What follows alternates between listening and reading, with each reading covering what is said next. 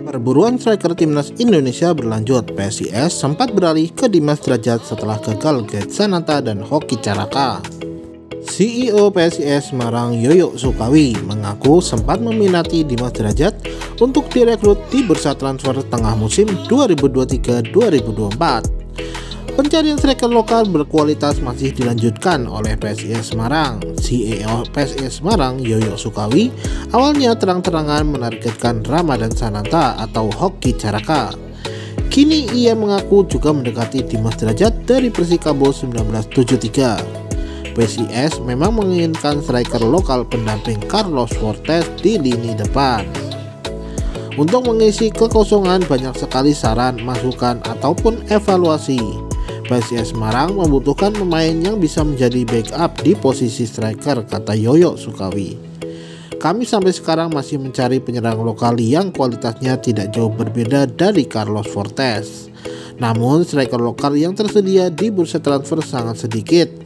Di sisi lain PSIS ingin striker nomor 9 yang kualitasnya sama atau tidak jauh berbeda dengan Carlos Fortes. Kalau kita bicara soal kriteria itu, striker lokal di Indonesia yang kualitasnya tak jauh dengan Carlos Fortes, jumlahnya sangat terbatas, kata Yoyo. Yang pertama biasanya naturalisasi, ini kan tak mungkin dilepas oleh klub lain. Yang kedua adalah pemain berlaber timnas Indonesia.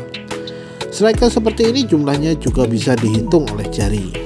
Untuk itu Yoyo juga maklum beberapa incarannya seperti Ramadan Sananta dan Hoki Caraka tidak dilepas oleh klub pemiliknya. Yoyo juga mengaku sempat mendekati Dimas Derajat yang membela Persikabo 1973. Namun statusnya sebagai anggota TNI menjadi penghalang. Yoyo yakin Dimas tidak akan dilepas oleh Persikabo 1973. Kemarin kita sempat dekati Ramadan Sananta, tetapi tidak dilepas oleh Persis Solo, kata Yoyo. Lalu kita coba komunikasi dengan Hoki Caraka dan tentu saja langsung dipagari oleh PSS Sleman, bahkan diperpanjang kontraknya oleh PSS Sleman. Ini nampaknya kita akan kesulitan ya untuk mencari striker. Kita juga sempat komunikasi dengan Dimas Derajat, tapi nggak mungkin karena dia tentara ya, jadi tidak mungkin dilepas oleh Persikabo.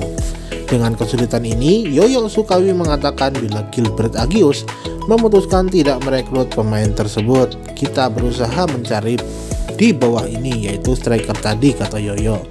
Pelatih memutuskan lebih baik tidak merekrut daripada merekrut pemain tetapi kualitasnya jauh dari yang kita harapkan.